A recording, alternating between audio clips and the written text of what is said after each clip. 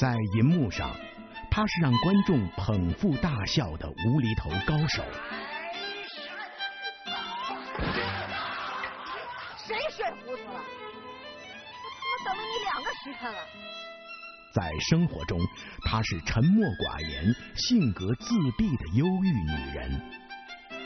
哪一个才是她的真实面目？影视演员姚晨。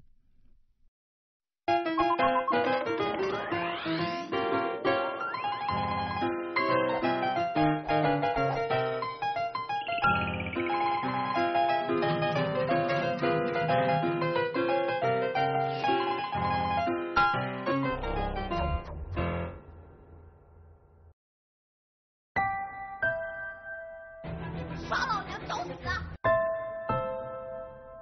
你吼啊你！我来你们家做丫鬟吧。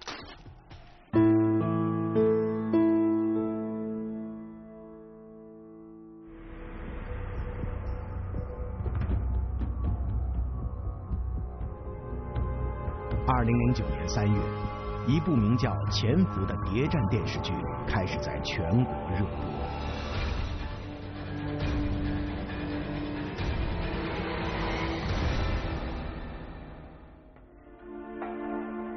该剧讲述的是，一九四五年，我党的高级谍报人员代号“峨眉峰”的余则成潜伏在国民党内部，从危机四伏的军统情报处窃取情报的传奇故事。影片中，余则成的扮演者是著名演员孙红雷，女一号翠萍的扮演者就是姚晨。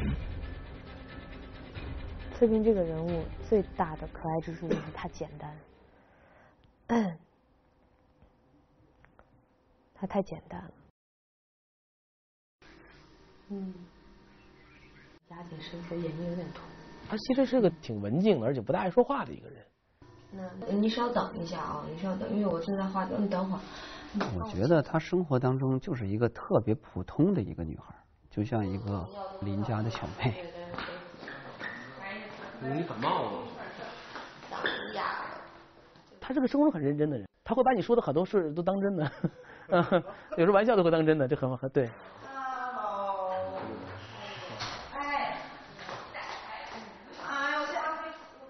他生活中完全不像他展现出来，像郭芙蓉啊，他其实是个生活中我觉得像个小女人一样，完全不是那种大大咧咧的。这个没有办法怪别人，因为别人又不是从事这个行业的。我还是不太懂你的意思。你的意思是不是说，我脑子有点转不过来。不是你的意思是不是说，别人觉得你就应该像郭芙蓉这样，就你生活中也应该就是郭芙蓉。生活就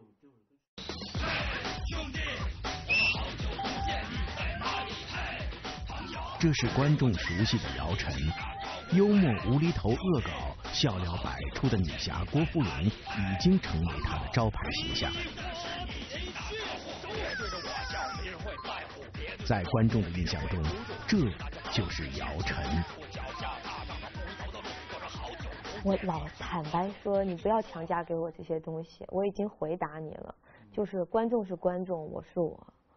观众可以有一万种想法，十万种想法，有两亿多的观众，三亿多观众，我没有办法去统一别人的想法。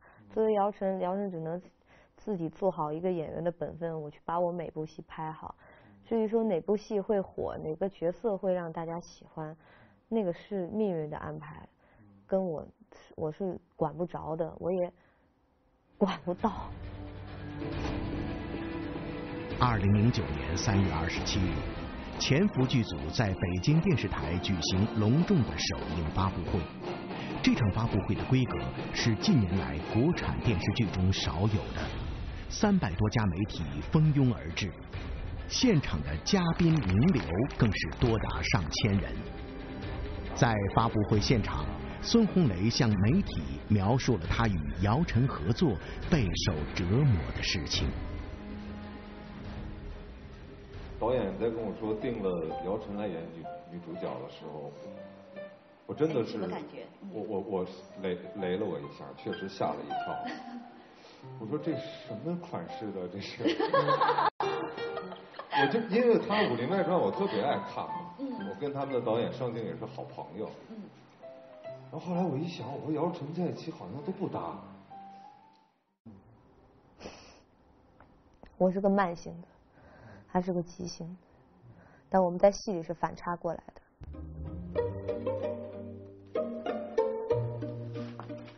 这是谁的？嗯。这是谁的？什么？哦。嗯。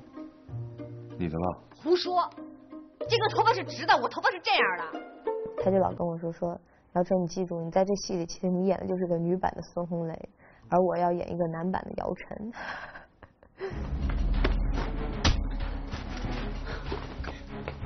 剧中的翠萍原先是一名骁勇善战的游击队长，之后受党组织秘密派遣，与峨眉峰结为名义夫妻，掩护余则成顺利完成潜伏任务。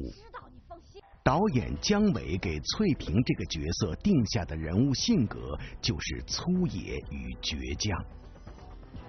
导演就一再跟我说，他其实就是一农民。我后来慢慢理解他说这话啥意思，因为他当时一开始跟我说他就是一农民，这太笼统了。我不知道他想他让我演个什么农民，农民有很多种呀。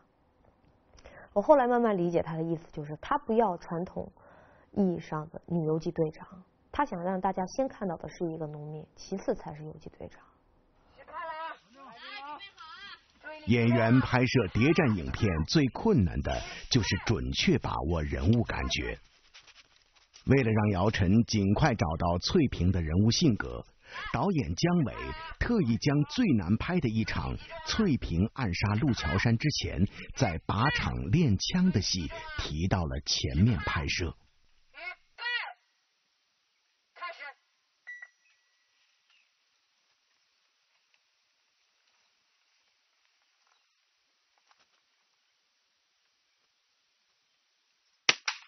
我觉得最让我抓狂是在刚刚进城的时候那个状态，我觉得是太难找了，离离离我的生活太远了，不知道他应该什么样，就会你本能就会不自信了，你不相信了，那那场戏我拍着拍着我就演不下去了。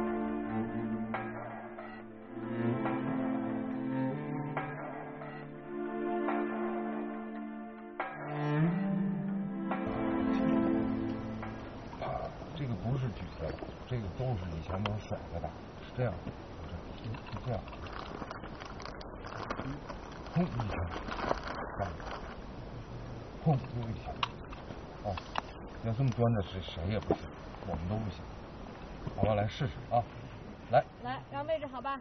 所以我说我们这剧组特别好，没有一个工作人员在旁边表示一个不耐烦，也没有人说一句怪话。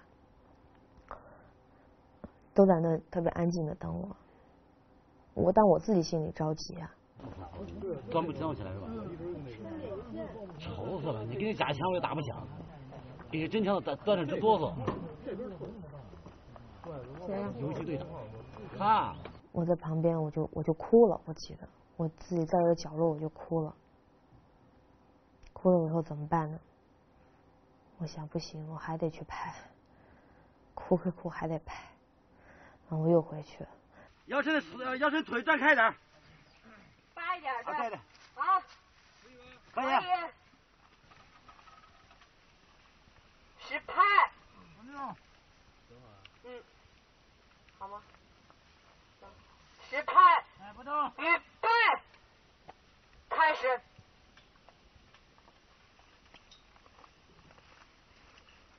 但我演呢还是演不下去。后来那天就收工了，就是是我拍戏以来 第一次，就是一个剧组因为我然后提前收工了，就那种感觉会很不好受的。雨中豪杰啊，中国英雄啊，英姿飒爽啊，神采奕奕呀。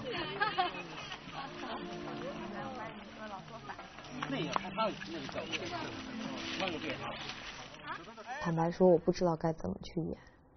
我觉得翠萍离我太远了，离我的生活，就是我从我的二十多年的个人生活经验里头，无法汲取到任何的东西可以给他给他用。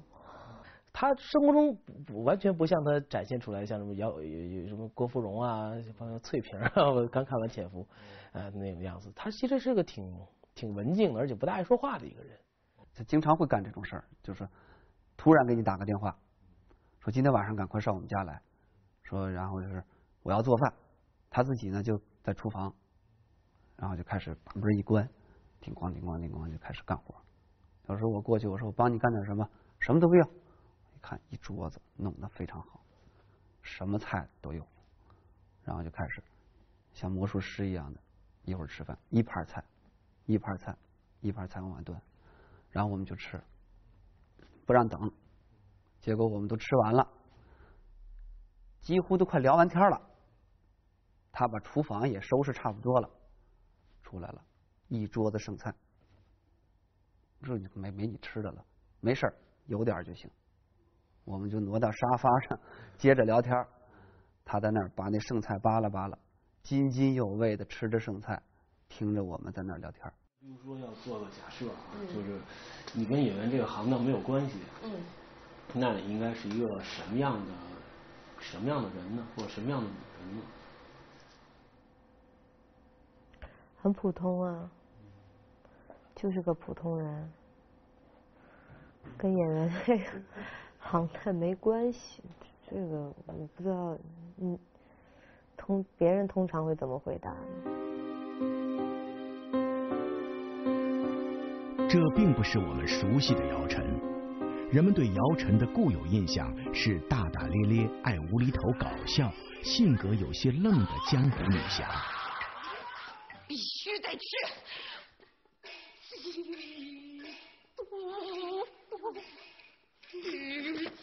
而这些形象都源自一部名叫《武林外传》的情景喜剧。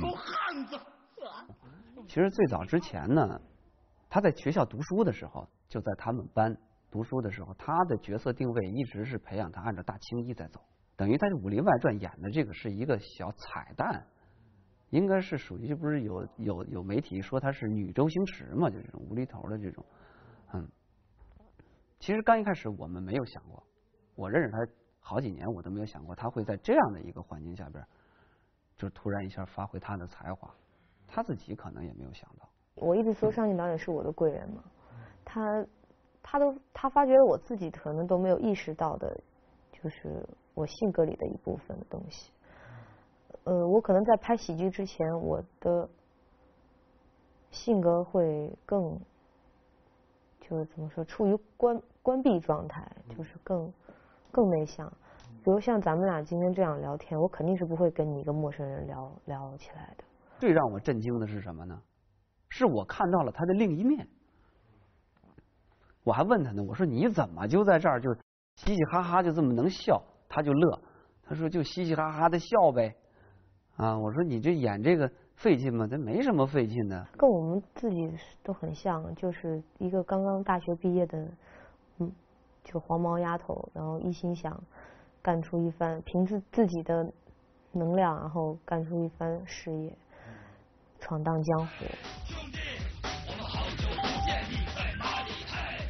二零零六年，《武林外传》一经播出，就创下了当年国产电视剧的最高收视纪录。姚晨也凭借着在这部电视剧中的表演而被亿万观众所熟悉，并获得二零零六年度电视演员最佳新人奖。有些观众甚至称呼她为“女周星驰”。我知道那个说法，有很多人问过我，我说这这东西我也没法去反驳，但是人家能这么说，说明人对你是是喜爱的嘛。才会给你这样的一个称呼，其实是啥称呼，在我这儿都无所谓。依附于郭芙蓉这个经典荧屏形象，一时间，大众媒体对于姚晨的报道几乎全是围绕着与幽默、无厘头表演等有关的话题。排山倒海喜剧明星成为了姚晨的唯一标签。而他本人却在各种场合多次表示，自己并不是一个喜剧演员。自从你演完这个郭芙蓉之后，他们都觉得你是女周星驰。呃，因为我觉得我我是一个没有什么喜剧天分的人，我怎么能跟人周星驰比呢？我真是我的眼镜新配了一副，要平时他早掉下来了，叫大跌眼镜。你还没有喜剧天赋，真的是没有。这个没有办法怪别人，因为别人又不是从事这个行业的，怎么可能要求别人去理解或了解呢？但老实说，我我认为我差得远。周星驰是一个喜剧天才，我顶多算一个职业演员，我没有创造喜剧的这部分能力的。嗯，我可以完成喜剧任务，我也可以完成正剧任务，但是我你让我去创造一个创造一种喜剧表演方式。或一种形式，我没有这部分能力。他这个郭芙蓉下来以后，喜剧是因为他是在这一个点上展现了他这一方面的才华。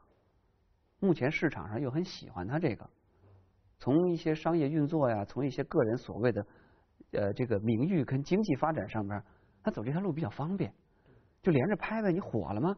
你多拍几个，你你这个片约会很多人都让你演这个李芙蓉、张芙蓉一系列芙蓉，然后你的片酬会会很高。你突然演一个那个大嫂，嗯，这这这个阿姨什么的，你可能就人家市场并没有定位，认为你是在这方面很有市场开发能力的什么的，所以说你就为何乐而不为呢？但是他不能就是就是只是说从内心深处，我们不能够去认可说哦，我就是郭芙蓉啊，原来我就是一个女笑星啊。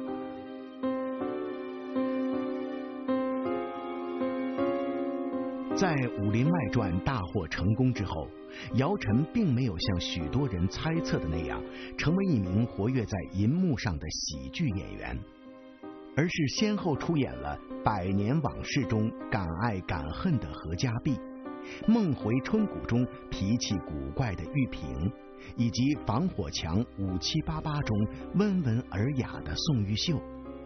但这些角色却并没有给观众留下太多的印象。此后，姚晨渐渐退出了大众视线，消失于爆头指尖。所以我有过一年多没有戏拍，天天待在家里头，倒也还过得算挺安逸的。你想过转行吗？有啊，我那一年多没戏拍，我就想转行了。我就想，算了算了算了，看来主持业不赏我这口饭吃，我就去干别的吧。嗯。在姚晨的博客中，我们找到了这样一段文字：明年都做些什么？还能做什么？我叹口气，突然有丝伤感，极力掩饰。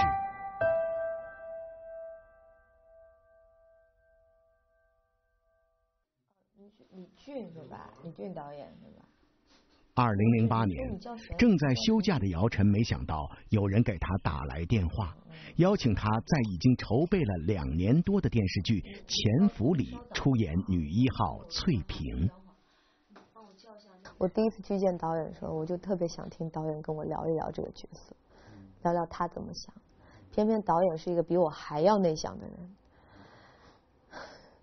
就一个闷葫芦。嗯，坐在那里戴着个眼镜，非常斯文的，盯着我看了半天，我也看不出他脸上到底是对我是满意呢，还是不满意呢？好像坐俩俩小时了，我记得是特别无趣的坐俩小时。那你他妈的不告诉我？啊！我要是知道你们是这种关系。我在他牺牲前我就潜伏中的翠萍是一个性格有些粗鲁、生性豪爽，但有时又会柔情似水的游击队长。角色的双重性格对于姚晨是一个全新的挑战。在演潜伏之前，我一直在演很多小姑娘的角色，然后慢慢也积累了一些自己所谓的表演经验。有时候演戏，可能你就会。下意识的、习惯性的去用一些你积累过的表演经验的技巧，突然间到这个戏里头，你发现所有的东西都用不上了，全部都得扔掉，从零开始，更多的去从人物的内心去感受一切，我就感觉像一个初学者一样。刚才那个姚晨说你可烦人呢。为了能让姚晨走进翠萍的内心世界，导演姜伟特意将翠萍靶场练枪的戏提前拍摄。但在这场戏中，姚晨并没有找到人物感觉，拍摄被迫停止。再来一遍。在剧组中，包括男一号孙红雷在内的大多数人都开始怀疑他是否能胜任这个角色。信任不都说好了吗？然后那天我记得我们制片人还想冲淡这种紧张的气氛，然后说走，我们今天上哪哪哪吃小龙虾去。我当一个人坐屋子里想，我说我是去还是不去呢？我说我不去，我自己一个人在屋里矫情，也不好受。我去吧，我在那肯定也吃不好，不行，我我得那么多人都提，就是我，但我知道我要不去，他们肯定会更担心我。我说我不能让别人担心我，嗯，我又不小孩了，嗯，我就洗了洗漱洗，我就干干净净就下来了。就装的什么事儿都没有，就跟他家去了。其实我那顿饭吃的非常的难受。为了尽快走进翠萍的内心世界，弥补与角色之间的距离，姚晨决定向剧组告假，到河北农村去体验生活。我记得我去那里，我到那个村子里头以后，嗯，一片祥和。女人们都坐在村口打麻将、打扑克牌，我还跟他们玩牌。我当时突然间就想到，我说翠萍其实当时生活的环境就是这样的一个地方，一片祥和、非常和谐的一个村庄。突然间有一天，闯进了一一帮陌生人，拿着枪杀他们的亲人，烧他们的房子。就在这种情况下。迫不得已，他必须拿起镰刀斧头，连枪支都没有，然后要去跟这些人拼命，就是要保卫自己的家，保护自己的亲人。我突然间找到了他仇恨的原因。谁睡糊涂了？那什么，我说是吧？我等你两个时辰了。能不能不能不睡？不叫干什么？姚晨面临的最大困难，就是不能准确把握翠萍性格中粗野的一面。重新回到剧组的他，在翠萍第一次与鱼子碰头的这场戏中，给予了角色一个完美的定位，也给了导演一个惊喜。废什么话呀？废什么话呀？我他妈又不识字，小伙子他们给我念了一遍，我能记住。哦哦，好，我说了不行，下车吧。不用，用不着。来，帮我摆一下第一个来拍。你睡糊涂了，你快点下车啊！谁睡糊涂了？我他妈等了你两个时辰了，我不睡觉干嘛？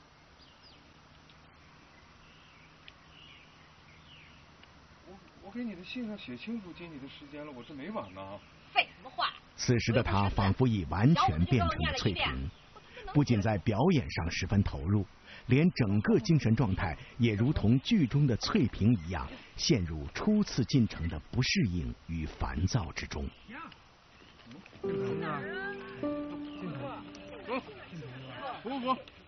在翠萍之前，我一直演都是一些女孩翠萍是我演的第一个，就是真正是是就是是一个，嗯，我认为她是一个心中有大爱的女人。对我来来说也是，拍完这个戏，让我自己的心智更成熟了。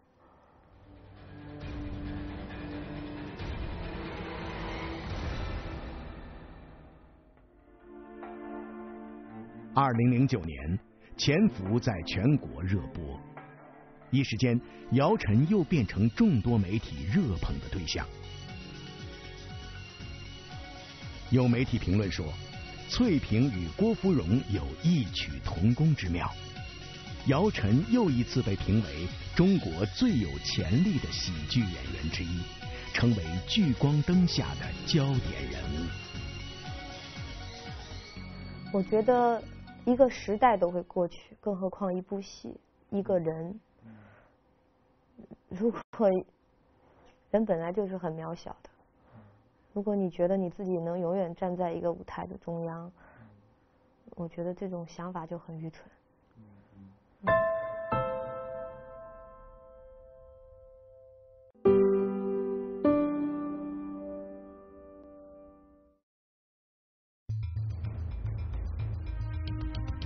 他用脐带血干细胞移植的方法治疗小儿白血病。他用干细胞移植的方法替代传统化疗。干细胞移植能否成为治疗小儿白血病的新方法？